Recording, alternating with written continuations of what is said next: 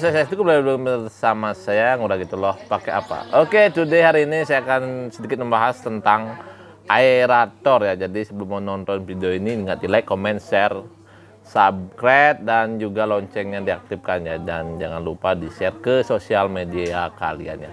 Tolong dibantu subscribe ya supaya cepat naik subscriber saya seperti itu ya. Mohon maaf karena memang akhir-akhir ini jarang sekali membuat konten ya mungkin karena bawaan bayi yang nggak ngerti juga dan juga mohon doanya ya karena lagi dua bulan kita punya dedek baru jadi tolong didoakan supaya lahirannya lancar dan semoga saja normal ya seperti itu. Oke, hari ini saya akan membahas tentang aerator ya.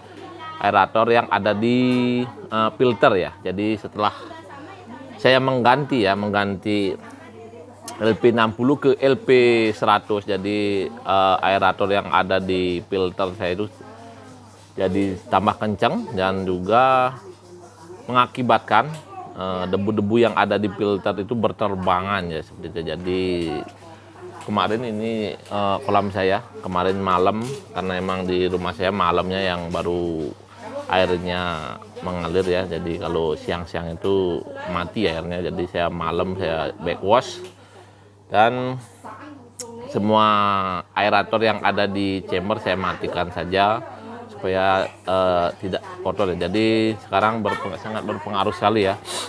Setelah aerator saya matikan di eh, di filter chamber ya karena emang debu debu-debu yang ada di media itu berterbangan ya karena kan aeratornya saya taruh di bawah media tujuannya saya kan supaya bakteri baik lebih cepat tumbuh seperti itu. Tapi karena mungkin pakai LP100 aerator jadi lebih kencang jadi uh, gelembungnya itu membuat uh, apa namanya itu debu-debu kotoran itu berterbangan ya dari chamber tiga, uh, dua, tiga dan empat sampai ke lima nggak nggak mau bening ya jadi seperti ini ya. Kita lihat ya langsung Oke, jadi ya air lip LP 100 ya? Jadi sebelumnya di sini ada sambungan ya. Jadi di sini sambungan aerator. Jadi itu saya bagi ya. Aerator LP nya saya bagi ke semua chamber yang ada di pipa ini ya. Jadi turun ke bawah. Dan sekarang sudah saya matikan saja ya. Jadi ini aerator ya. Jadi di bawah paling bawah saya kasih aerator dan ternyata gelembung air yang naik itu membuat kotor eh, debu-debu uh, dari kotoran ikan itu naik dia jadi dia gimana istilahnya ya kayak diangkat seperti ya. Jadi sampai kemarin itu chamber terakhir itu saya ini mau bening ya. Karena banyak sekali debu dan otomatis dibawa ke kolam ya. Jadi kemarin sangat kotor sekali dan dan sekarang sudah sangat bening ya, lebih kinclong ya dari kemarin karena tidak ada debu ya dari chamber ya. Jadi sebelum saya matikan aerator di chamber ini debu-debunya banyak sekali ya. Dan sekarang sudah kelihatan berbeda sekali ya. Sudah bening sekali di chamber terakhir. Jadi saya fokuskan di kolam juga saya nggak pakai aerator nggak saya hubungan saya pakai airlip saja supaya lebih jos ya. Jadi untuk airlip LP 100 skimmer kencang ya. Ya lumayan kencang lah. Jadi kelihatan dari debu-debu yang berjalan kelihatan jadi ini lumayan kencang ya. Dulu waktu pakai LP60 kalau saya pakai dua chamber kebuka itu enggak cukup ya ini chamber pertama ya. Jadi saya menggunakan bottom drainnya keduanya saya hidupkan lagi. Biasanya kalau pakai LP60 saya pakai saya tutup satu ya baru dia mau kencang skimmernya ya. Sekarang saya buka keduanya. Jadi pipa 3 dim. Saya buka keduanya dan skimmer saya hidupkan satu yang di sana saya tutup. Ya skimmer yang di sana saya tutup jadi ya lumayan kencang ya. Kelihatan dari air yang naik ya. Seperti itu jadi chamber penuh ya semua ya. Kalau saya pakai saya tutup satu chambernya agak kurang ya. Nggak sepenuh ini ya. Jadi sampai ke sana jadi asupan air sudah cukup ya. Dan karena emang kalau menggunakan satu bottom drain asupan air dari kolam itu kurang ya. Jadi sedikit uh, turun airnya yang di chamber. Sekarang sudah mulai bening kinclong ya. Lumayan. Karena memang debu yang dari filter seharusnya disaring tidak ke bawah ke kolam lagi ya. Sekarang sudah bening ya. Jadi untuk di sana di bawah kelihatan enggak ya kotoran ikannya ya. Jadi kotoran ikan ini karena memang terus saya push pakannya. Oke, ya. untuk pakan saya menggunakan mencoba hoki ya. Jadi kalau hoki proteinnya 40% ya, kalau ikusu 35% tapi agak kurang lahap ikannya makannya mau makan tapi kurang lahap ya jadi saya push terus ya setiap ikan mendekat saya kasih makan. Dan lumayan lah. Ya ini sudah dua bulan ya ikan yang kita kecil yang kemarin saya beli. Dari size 15 sekarang sudah mungkin 25 cm ya. Oktober saya beli ya tiga ekor. Ada yang ya lumayan lah 25 cm 25 cm ya. Seperti itu dan juga kemarin pas di Denpasar ya di Badung kota Badung ada lomba kue saya ikutin sanki saya. Ya tapi nggak dapat coretan ya dapat nomor 5 aja.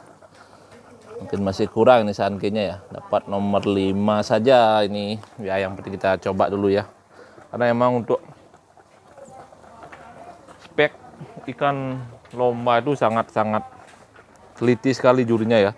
Dari skin body uh, finish warna juga ya. Nggak boleh ada bocor nggak boleh ada luka. Jadi sangat ketat sekali. Jadi agak sulit ya. Memang mau lomba memang harus di keeping benar-benar ya. Di keeping benar-benar di tempat khusus seperti ya supaya kita bisa merah hitamnya jadi lebih pekat seperti itu. Oke, jadi seperti ini keadaan kolam saya sudah mulai sangat bening. Mantap. Kelihatan dari dasar-dasarnya. Jadi ini ya, Kak. Kalau emang pengaruh dari apa namanya itu puspakan, kotorannya banyak sekali ya untuk nanti paling pagi, besok pagi baru dia hilang ya. Banyak sekali kotorannya di bawah. Jadi lumayan jadi sekarang sudah mulai celing biasanya debunya banyak sekali nih debunya ya karena emang dari chamber kotoran yang seharusnya disaring dibawa naik oleh aerator jadinya nggak bisa bening-bening ya sekarang sudah mulai mendingan untuk debunya karena emang juga dipuspakan seperti ya karena memang untuk media filter di chamber saya masih kurang ya. Mungkin kurang jaring nelayan lagi sama batu apung lagi kurang ya. Ini baru isi setengah-setengah ya chamber satu jaring nelayannya. Eh chamber dua jaring nelayannya baru setengah. Chamber tiganya juga baru setengah ya untuk di sana chamber 4 hampir penuh ya. Jadi di sana saya pakai batu apung dan kerang oyster seperti itu. Seperti itu jadi makannya sangat lahap. Oke kita push terus pakannya jadi saya sudah menemukan masalahnya kenapa air saya berdebu sekali. Memang ini ya. Jadi yang debu-debu yang ada di media filter itu karena dia gelembung aerator jadi naik seperti itu ya jadi seperti itu ya. Jadi sekarang sudah aman tidak ada debu yang dinaikkan karena aerator ya. Jadi ini untuk air air lipnya. Saya menggunakan sambungan uh, supaya supaya ini saya fungsinya supaya meredam begini ya apa tuh suara air lipnya. Kalau di sini kalau nggak saya pakai T di sini suaranya lebih keras itu. Ini, dibagi dua jadi mantap jadinya ya. Aduh kalau kita tutup di sana suaranya lebih keras di sini kalau ini lebih slow ya seperti itu mungkin kurang tinggi ya karena ini ada sedikit tetes-tetesan karena kencang kekencangan aerator. Oke, jadi seperti itu ya penjelasan. Mohon maaf kemarin memang untuk di aerator di media chamber itu bagus ya, cuma seperti itu resikonya debu yang ada di media filter itu jadi terbawa ke chamber terakhir dan dibawa ke kolam. Jadi kolamnya berdebu seperti itu. Karena kemarin pas sebelum saya backwash tadi malam eh, debunya itu kan sudah banyak sekali ya jarang saya backwash jadi karena debunya banyak di atas dan debunya itu mengalir terus mengalir sampai ke chamber terakhir dan dibawa ke kolam jadi di kolam saya nggak mau bening dan sekarang sudah celing sekali ya Jadi uh, kadar debu yang ada di kolam itu lebih sedikit seperti itu. Karena emang saya juga push pakan mungkin yang satu bulan 10 kilo ya saya habiskan hampir 10 kilo itu udah habis ya yang ikut uh, apanya hoki ya yang 10 kilo. Sudah mau habis nih padahal ikan sedikit nih tapi karena terus saya push jadi kelihatan sekali ikannya berubah ya. Seperti itu ya. Oke terima kasih ya. Semoga saja bermanfaat. Mungkin dari awal saya uh, memberitahu bahwa harus ada aerator di chamber dan di media filter memang bagus supaya uh, bakteri baik yang ada di media biologis itu cepat tumbuhnya seperti itu. Tapi karena memang uh, ngepus pakan jadi banyak debu-debu kecil yang sedikit saja disentuh saja sudah dia mengalir karena memang juga uh, air lip LP 100 nya juga kencang sekali. Jadi saya matikan saja. Di apa tuh?